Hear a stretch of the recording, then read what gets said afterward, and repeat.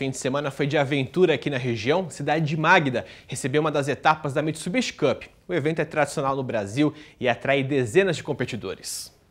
Frio, chuva e indefinição sobre a largada ou não das equipes. Só depois que os organizadores fizeram o trajeto da prova é que pilotos e navegadores puderam ficar mais tranquilos. A Mitsubishi Cup existe há quase 20 anos e conquista a cada dia mais apaixonados pelo automobilismo. Temos pilotos de todos os lugares do Brasil e esse ano nós mudamos a receita é, com várias tipos de prova, uma prova endurance, uma prova com três baterias, uma prova de 50. Cinco categorias estão competindo neste Rally Cross Country de velocidade. A expectativa, que era de pegar muita poeira na estrada, foi substituída por lama e poças d'água.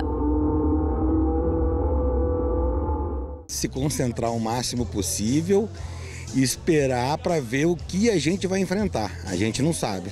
Num terreno de baixíssima aderência, as equipes precisaram de técnica e paciência, principalmente nas curvas, para permanecer na pista.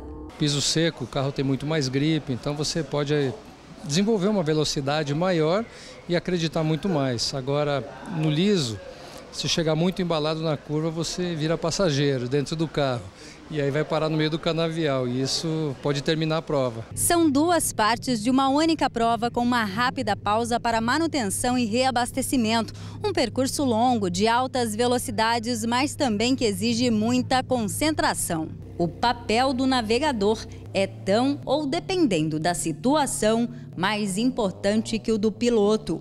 Ele é o responsável por mapear direcionar e orientar todo o caminho. A gente ajuda o piloto a saber todo, todo o trajeto, né, o básico, e a gente auxilia ele aonde é o melhor ponto da frenagem, ou seja, ele perder menos tempo possível em cada saída. Foram mais de duas horas de aventura e manobras radicais, emoção, diversão e momentos que fazem os participantes sempre querer voltar. Gosto, estou aqui hoje com muita chuva, muito barro.